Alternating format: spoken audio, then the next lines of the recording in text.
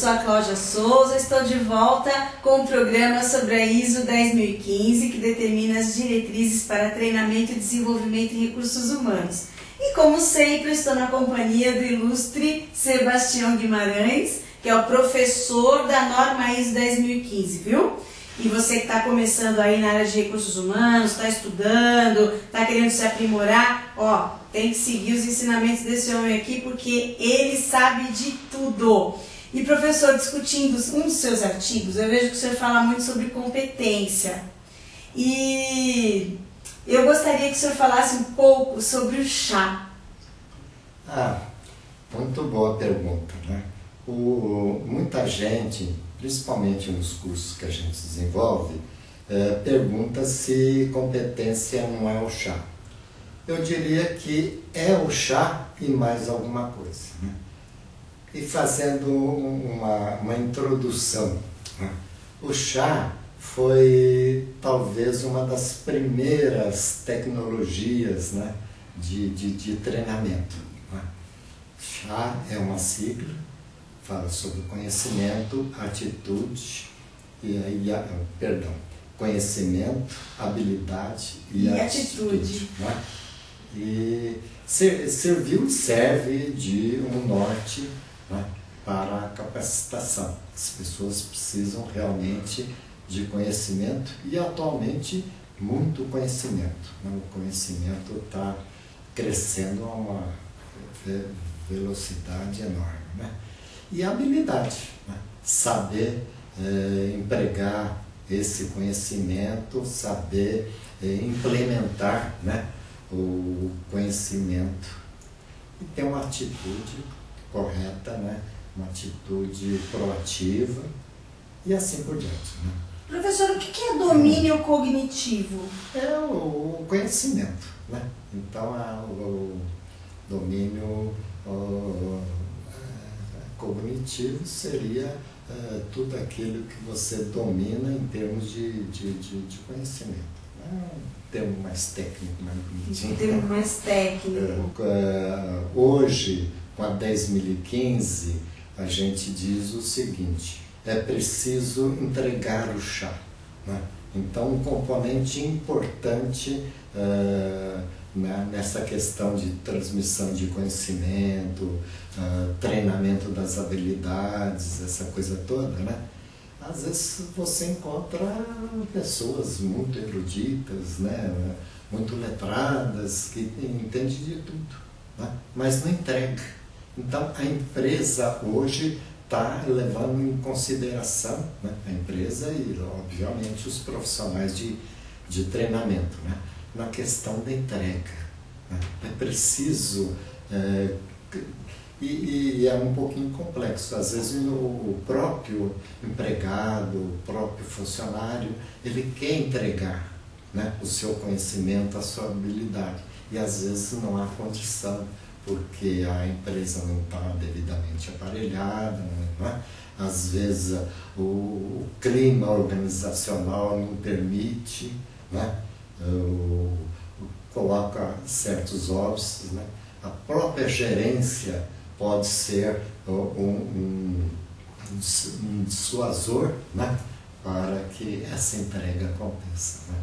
Então, hoje, há mecanismos, inclusive, para se medir essa entrega. Né? Às vezes, um, indivíduo ele é doutor, professor, né? mas ele entrega ou, como se fosse um boy, né? entrega muito pouco né? do seu conhecimento, essa coisa toda. Né? Essa entrega tem a ver com comprometimento ou são duas é, coisas distintas? Não, tem, tem muito a ver. Né? Estar tá comprometido é estar é, disposto a entregar, tá, está entregando, está pretendendo entregar. Né?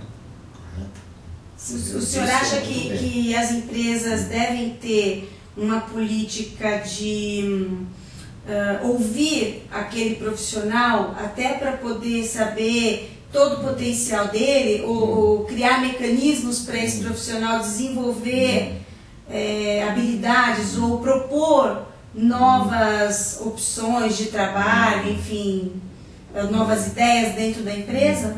Ah, com certeza, né? E você tocou num ponto também muito importante, que é a questão de, de ouvir, né?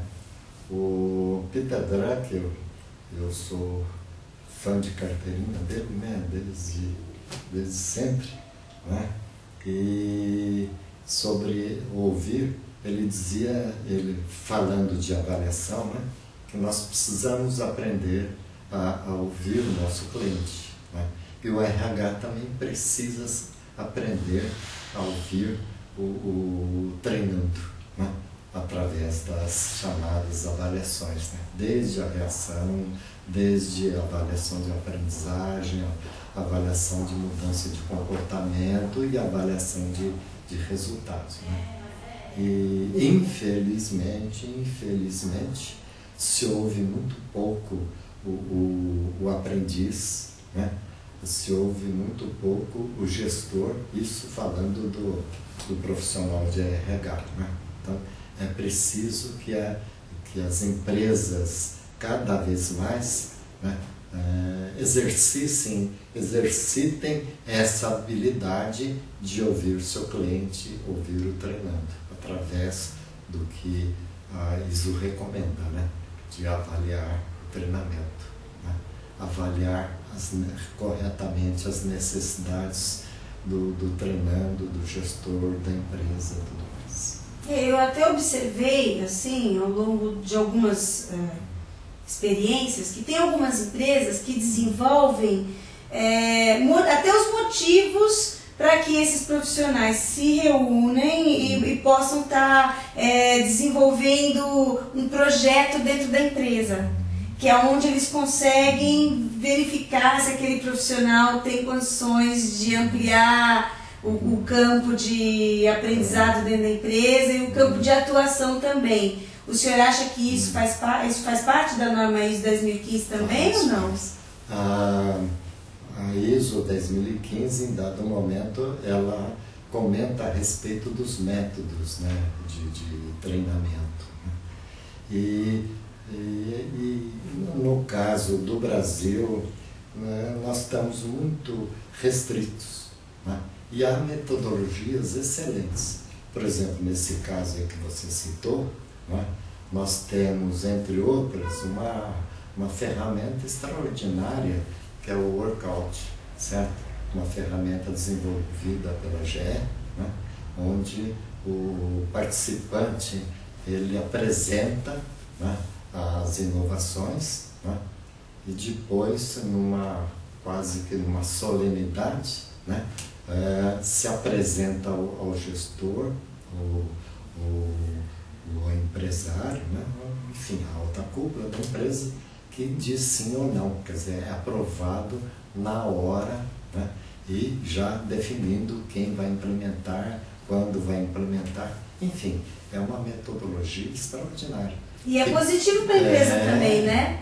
Ó, super positivo. Porque né? eu percebo que eles, é, eles vão de encontro à busca de soluções é. para alguns problemas que tem na empresa Perfeito. e eles dão a liberdade para que é. esses profissionais desenvolvam aquelas soluções. Perfeito. É, se contrata, como citando novamente meu grande mestre, né, Peter Branca, não se contrata, não se deve contratar as mãos né, do, do funcionário, mas o cérebro. Né? E as pessoas são muito competentes né? quando se dá a elas a oportunidade. Né? Tem um, uma pesquisa muito antiga, uh, teve até a participação brasileira, né? através do Unimetro, feita no mundo todo. Então, diz que uh, no Japão, o praticamente todo funcionário, ou seja, cerca de 80%, dão sugestões às empresas de melhoria. Né? Uh, Estados Unidos, países desenvolvidos, cerca de 60%, 40%, 60%. No Brasil era, naquela época, agora já melhorou, né? mas era 0,1%. Quer dizer, não não se dá muito espaço para as, as pessoas crescerem, né? para mostrar resultados. Tanto que a produtividade no Brasil é baixa, em todas as empresas. É. Só nas maiores mesmo que é. desenvolvem né, esse tipo de, é. de, de trabalho. Professor, e como é que fica a questão de competências dentro dessa sigla do CHAC? Como é que fica? A questão das competências. Então, é, hoje está bem definida a, questão. Né? Nós precisamos ter bem claro ah, as competências que a empresa deva ter. né? E segundo o Prahalad Hamel, não precisam ser de- identificadas muitas não. No máximo de, de, de 5 a 15.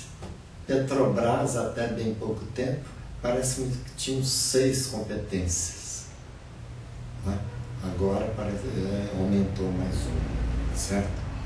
Partindo dessas competências essenciais, nós vamos ter as competências departamentais. né? E, finalmente, as competências do- dos, do- dos profissionais de cada área. né? Então, é um funil.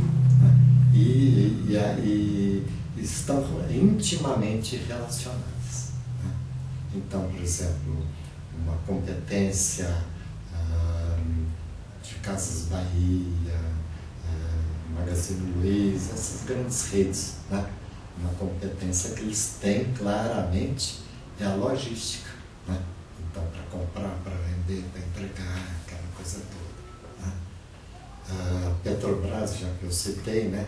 Ela tem uma competência extraordinária, né? que é desenvolvimento de, de tecnologia. E você sabe, né? Petrobras é a pioneira em águas, em prospecção em águas profundas, né?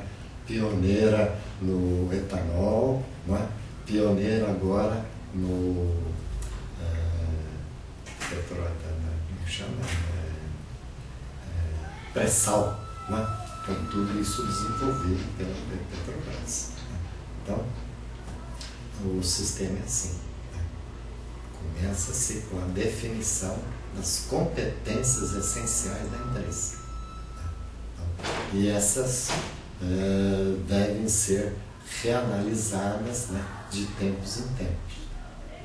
Por exemplo, a, a- que eu citei agora há pouco, né, que a Casas Bahias, lojas americanas, né, tem logística. Hoje já deixou de ser essencial, porque toda loja, toda rede, se não tiver logística, ela vai ter custos altos, ela não vai ter diferencial e tal. Então, deixou de ser essencial. É uma competência básica, tem que ter, Já tem que ter. certo?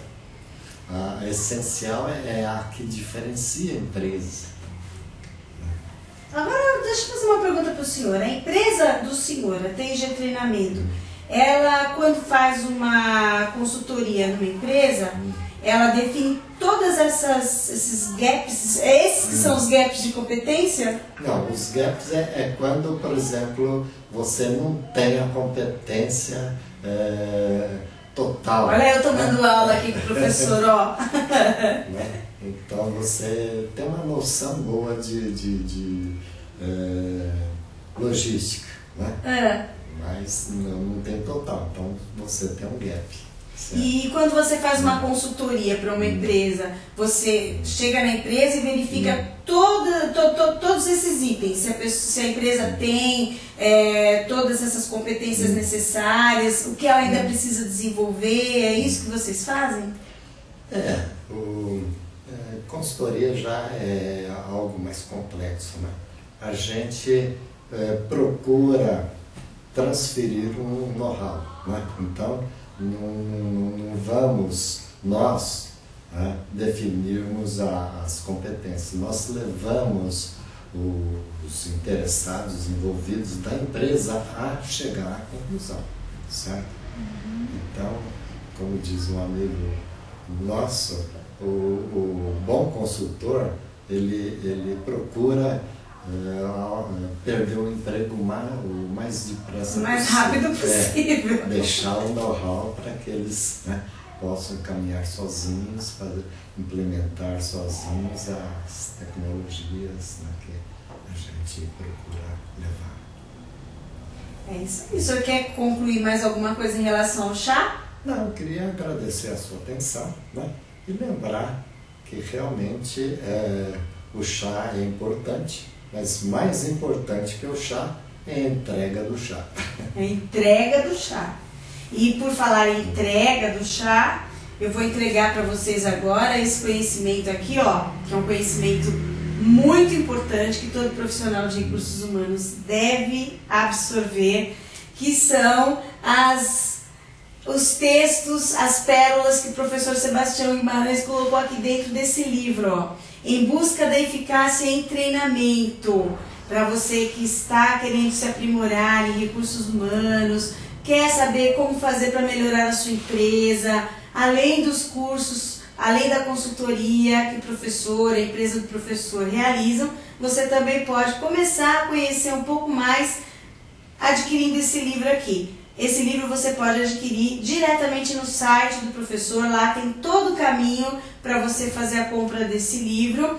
Tem artigos gratuitos que você pode consultar, tem os vídeos e muito mais. O canal está aberto, né, professor, para quem quiser entrar em contato com o senhor e com a sua equipe, não é?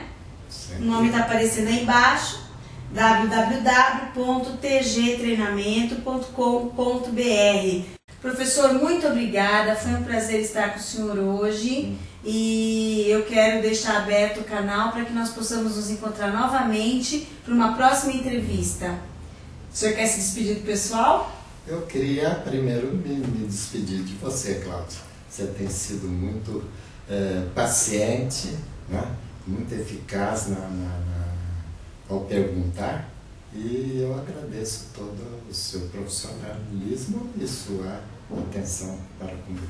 Professor, muito obrigada. Até a próxima.